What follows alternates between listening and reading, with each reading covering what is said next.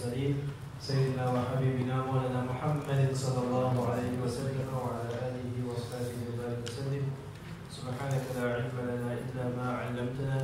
اللهم علمنا ما ينفعنا زدنا علما. يا مقلب القلوب ثبت قلوبنا على دينك. السلام عليكم ورحمة الله وبركاته. كيف حالكم؟ Well, Abdullah, last week did the hadith with you. Did you memorize the hadith? I mean, did you memorize the class?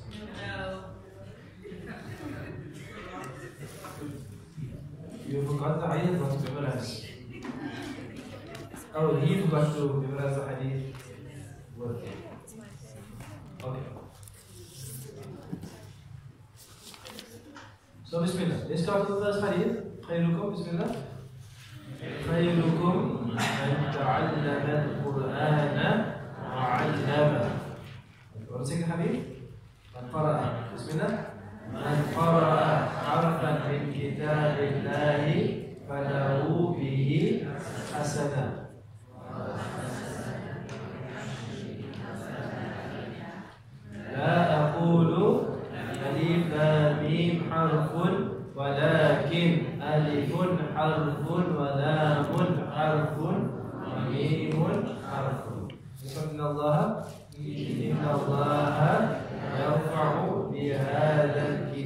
أقواما ويضع به آخرين. So you memorize those three. Some reading it. Inshallah, make the niyyah to memorize. MashaAllah, with your parents, MashaAllah. What a beautiful thing it is to narrate the hadith to your children as well. Okay, that's a nice one memory also. I'm saying it was more beautiful from more beautiful from memory. So try to, to memorize the hadith. What you'll find that if you're going do it weekly, it will become part of your permanent memory. A lost skill amongst us today is we have lost the skill to memorize. As example, hadith number four, I ask you to memorize it, you will look at it like for five minutes and just think about you just won't memorize it, no. It's almost we have a memorization block. Because we haven't memorized anything since like seven, eight years old. So we have a memorization block. So our hadith number four, inshallah, I want you to all memorize it, memorize it now. And the method we're going to use now again is the same method we're going to use at home to memorize hadith and, and to revise hadith. So the meaning of number four you're comfortable with. You know number four. There's something missing in the text. Is that what's missing in the text is there's a piece missing. Is that the hadith is actually attributed to Allah. The hadith is attributed to Allah. So basically, you can have four attributions. Number one, if a hadith is attributed to Allah, what attributed means that the Prophet says that Allah says, then it becomes a hadith qudsi. If the hadith is attributed to the Prophet ﷺ, it becomes a what we call a marfu hadith. Technical term, it's what we call a marfu hadith. Which means attributed to Rasulullah sallallahu alayhi wa sallam.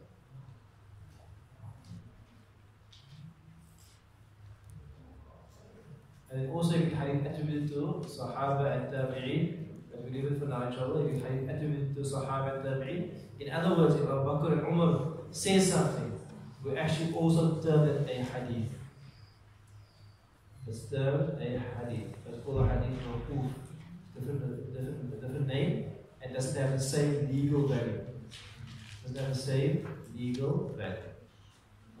So this hadith, what's missing here is what's قال Rasulullah sallallahu alayhi wa sallam should say after that يقول رب something قال الله Allah says because the meaning of the hadith is من شغله القرآن وذكري what's the meaning of that Man, whoever shall or shaghala mean? Possess or keep busy or occupied. Where is the fa'il for occupied? Shaghala. Where is the fa'il? Can't be man, the fa'il always dead left him. Al-Qur'an is the fa'il. Man shaghalahu al-Qur'anu. Whoever the Qur'an occupies. Dhikri the Quran and my remembrance. Whoever the Quran and my remembrance occupies, who occupies who? Man shaghala who. That who there is a maf'ulun bihi. So whoever the Quran and my remembrance occupies this person, occupies this person from what? An mas'alati. You must understand the sentence structure. Whoever the Quran and my remembrance, fa'il, occupies this person who, maf'ul bihi, an dhikri, from, oh, sorry, sorry, an from my, from asking me. So why I said Hadith Qudsi, does the Prophet says mean whoever the Quran and my remembrance mean the Prophet. He means Allah's remembrance. The Hadith Qudsi. A'ataytuhu, A'ataytu means what? What does it mean? I have, I, I have granted or I will grant A'ataytu ta'al fa'i A'ataytuhu, I will grant this person afdala. What afdala mean? Better. Ma than that which U'ti sa'imin that I have given those who ask. I will give the person that the Quran and remembering me occupies more than I'll give those who ask. Why do you think Allah said that? We normally say dua ibadah. Dua is the, the essence of worship. Dua silahul mu'min. The dua is the weapon of the believer. Why this hadith is, do you think the Prophet is telling you that what is greater than dua is to be occupied with the Quran and the remembrance of Allah? Why do you think that is?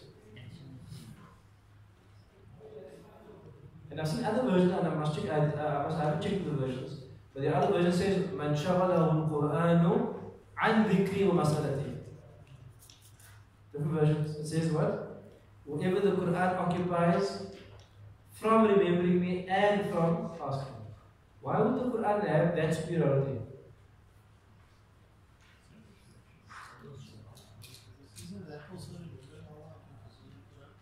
It's you also remember, I'm saying why why does when Allah says the Quran is occupying someone, what do you think Allah means by that?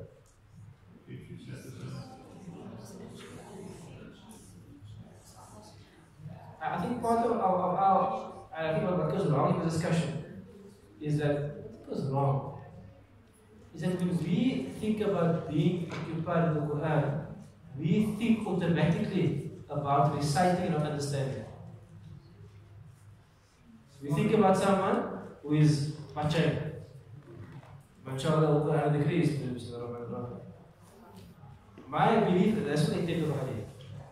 They take of the hadith is someone who is occupied with reading, studying, and understanding the Quran.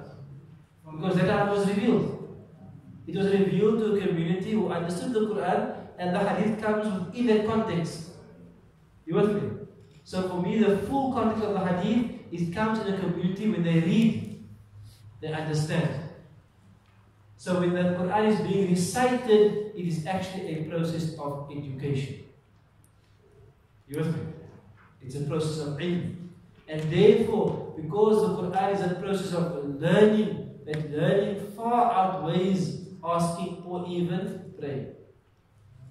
That learning in Islam outweighs asking Allah and it outweighs praying to Allah. You with? This is the Islamic model. Ilm outweighs all of them. Because ilm creates a permanent shift in your consciousness and direction. With? Once you study, you can't unknow. Once you know, you can't unknow. But the, but the, thing with, with worship is that worship is like enos. You feel pious, the enos is bubbling and you're worshipping. Ramadan's coming now, we're going to be like enos again there. And then afterwards, get finished. You will be sometimes the, the, the, the, it's just about, about inspiration for a moment. But knowledge gives you permanent shifts. It permanently changes your, your life. So therefore, shaghalahu al-Qur'anu and, and why specifically the Quran? Because the highest form of learning can and the most obvious logic, the highest form of learning has to be a source which is undoubted, which is the word of God. Just like from a logical point of view, that the highest thing you can learn is something from a being that knows everything and gives you an untainted book. Like logically, who, who can claim that? No one can claim that. Not even Rasulullah can claim to know everything. But Allah can claim to know everything. Allah does know everything. And He gives you, selects for you a sampling of His knowledge that is for you. So what could be higher than that? Therefore, وَفَضْلُ كَلَامِ اللَّهِ Hadith continues, and the superiority of the words of Allah على سائر الكلام upon all other words. Because all other words come from the created. These words come from the uncreated, eternal, all-knowing. So therefore the superiority of of his words على سائر الكلام كفضل الله على خلقه it is equivalent to trying to compare Allah. It's like the superiority of Allah over His creation. And what's the comparison? The comparison is one of infinite difference. The comparison of Allah to His creation is one of infinite. You can't define the differences between it. Therefore, there's infinite difference between becoming a student of Quran and a student of anything else. Quran. So basically a summary of the hadith. They spend on the time the time on the time how long it takes because I know it's problem to memorize, but we have to break this barrier. We have to be a community who also memorizes our text. So Bismillah, stop what you started. We want to do is we'll do everything twice. Two inside, two outside. Two inside, two outside. Two inside, two outside. And you إن شاء الله أنا تشتم من الصحة الحديث إن شاء inshallah. بسم الله من شغله القرآن وذكري altogether من من شغله القرآن وذكري again من شغله القرآن وذكري from memory من شغله القرآن وذكري again. من شغله القرآن وذكري. is القرآن فاعل again. من شغله القرآن وذكري. عن مسألتي. From text. عن مسألتي again. عن مسألتي again. عن مسألتي. From memory. عن مسألتي again. عن مسألتي. Now read from the beginning to Al Masalati from the text twice. من شغله القرآن وذكري عن مسألتي again من شغله القرآن وذكري عن مسألتي memory من شغله القرآن وذكري عن مسألتي again من شغله القرآن وذكري عن مسألتي أعطيته أفضل ما. Again. أعطيته أفضل ما. Again. أعطيته أفضل ما. Again. أعطيته أفضل ما. Remember? أعطيته أفضل ما. Again. أعطيته أفضل ما. Again.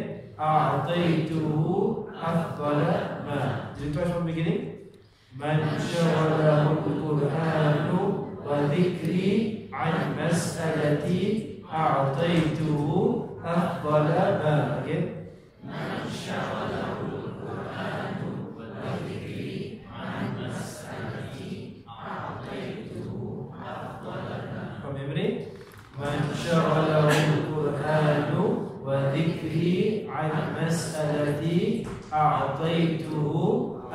شغل ماهر. من شغله القرآن وغيره عن مسألة أعطيته أفضلها Next words.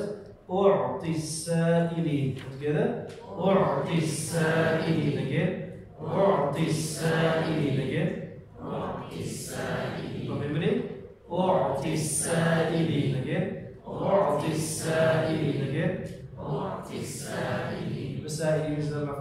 النصب أعطي السائلين. يفهم يا ابني؟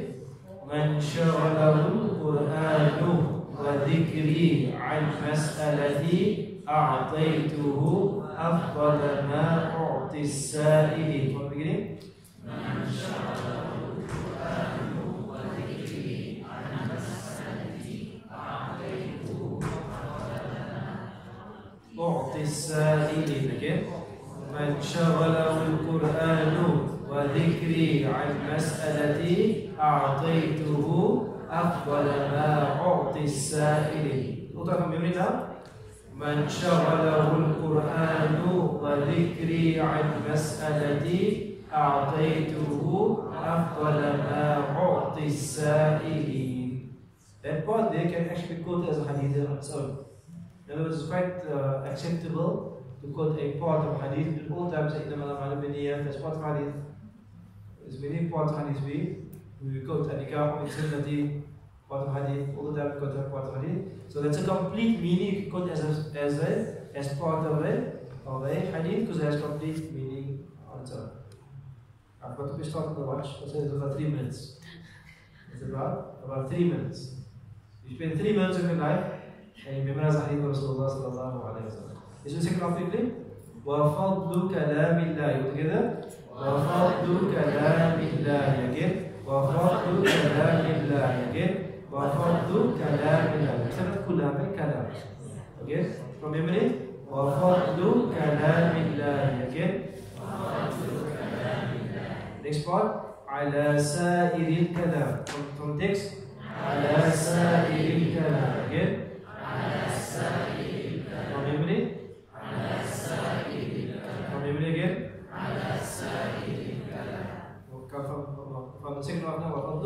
reading وفضل كلام الله على سائر الكلام again وفضل كلام الله على سائر الكلام from memory وفضل كلام الله على سائر الكلام again وفضل كلام الله على سائر الكلام Now from text كفضل الله على خلقه كفضل الله على خلقه. كفضل الله على خلقه. كفضل الله على خلقه. from memory كفضل الله على خلقه. كفضل الله على خلقه. again كفضل الله على خلقه وفضل وفضل كلام الله. وفضل كلام الله على سائر الكلام كفضل الله على خلقه.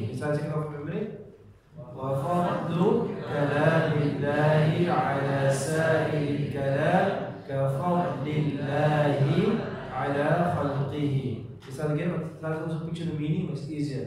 وفضل كلام الله على سائر الكلام كفضل الله على خلقه. That the whole memory we can inshallah? من شغله القرآن وذكري عن مسألتي أعطيته أفضل ما أعطي السائلين وفضل كلام الله على سائر الكلام كفضل الله على خلقه. Practice inshallah. You're scaffolding your memory and bit by bit, and if you're going to memorize and you're going to repeat the same bit every day, it will become part of your permanent memory. Like you say, Khayrukum al eventually becomes part of your permanent memory. In other words, it becomes effortless to recall the hadith. How great effort it requires, great exertion and concentration, eventually it becomes effortless. The songs we hear, the all the time. You start singing after all, you do, ah, I know the lyrics. You sing it subconsciously. Or I call the chicken, the chicken songs. you hear them enough, it becomes part of your you know the lyrics just like that. So the same you must have this, know the hadith. And, and one. I never think Mu'tah said this, he, said to us one day, do hadith, do hadith for a while. He says, why do you do hadith? And he says that the reason we do hadith is that is that we get so many other voices and so many other so much other speech we hear. That if you just park that for a moment and you go Qala Allah, Qala Rasulullah, Qala Allah, Qala Rasulullah, Qala Allah, Qala Rasulullah, it starts basically you hearing Allah and hearing the Prophet Wasallam, that becomes a voice that starts programming your mind. So in other words, if you start memorizing this hadith, it actually becomes part of a voice inside of you. Like it becomes part of a voice inside of you. وفضل كلام الله على سائر كلام كفضل الله على خلقه it becomes like a marker within your belief that I cannot compare anything, anything to the Quran. So this is this is this is uh, this becomes uh, important uh, anchor points within your belief structure. What is the anchor point in your belief structure? It is the words of Allah, the words of Rasulullah One of the difficulties that we have in our time is everybody is so busy with analysis and categorization and critical thinking that they have no anchor points anymore. The anchor points are removed because people assume when you analyze the anchor points, they don't, they, they don't apply anymore. That's like a ridiculous thought. Because just because you've analyzed the anchor point and say, okay, that is hadith, and these are Sunnis interpreters, these are Shafis, and they put everything in the block and something, it doesn't apply. Of course it applies.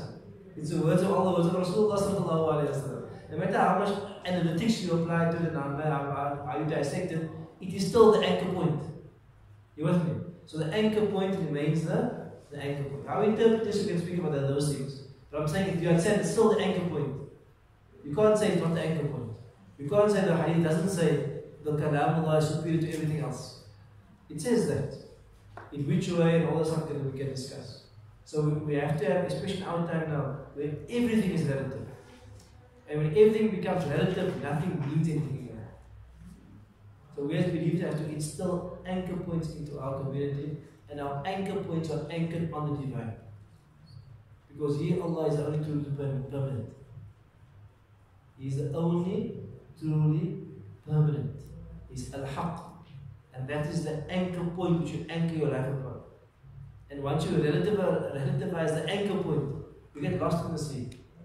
You get lost in the sea of nothing means anything.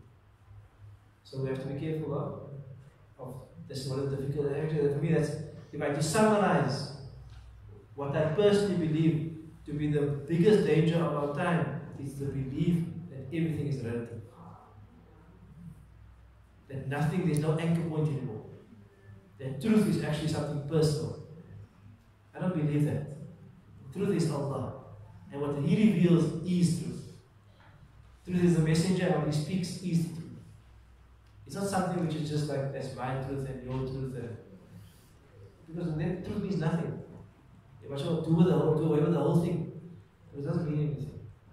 So I think that's for me, that is the, because once you, you take those anchor points away, and then anything emanates from the anchor point, any laws, the laws also become relative. And the moral code also becomes relative. And everything becomes so relativized and what? We remove it all. What remains? Nafs. That's all. Naked nafs. And all you will see is nafs. Because all the all the aql and all the guidance points and all the anchor points have been removed, and the person becomes just pure nafs. This is a very culture of. The culture, I mean, happened to the Christian faith much more than the Christian faith. Because the Christian faith has been completely torn apart because nothing means anything anymore. Even if Jesus speaks in the Bible, it doesn't mean anything because it's the spirit of the law and doesn't really apply and all that stuff. So you know we must, we must be careful of it. Everything becomes relative. These are the anchor points. So you're memorizing the anchor points in your being now. You come to the morning circle, Buruj, it's an anchor point in your being. You remember Hadith, it's an anchor point in your being. And the rest of the day, we, we strive to understand the anchor points. We internalize them, then we try to understand them. And this is what guidance is. Guidance is. The Prophet only had three things that he had to do.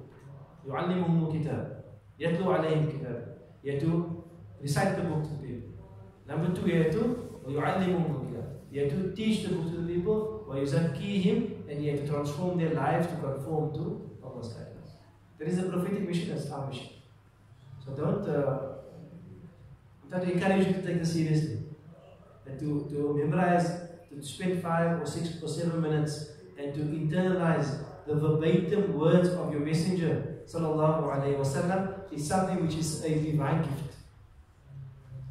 It's a gift that your tongue can repeat the words of Rasulullah.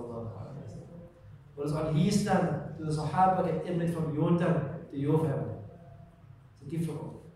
So try to to make some effort to to memorize, internalize, and to to feel it, and to feel that this is something which is which is illuminating your heart, something which is nur in your heart. God give us nur in our hearts and understanding barakallah. We'll see you next week inshallah. I must not short the hadith in Nahu, I must speak Nahu, but uh, you must memorize faster. barakallah. Assalamu alaikum wa rahmatullahi wa barakatuh.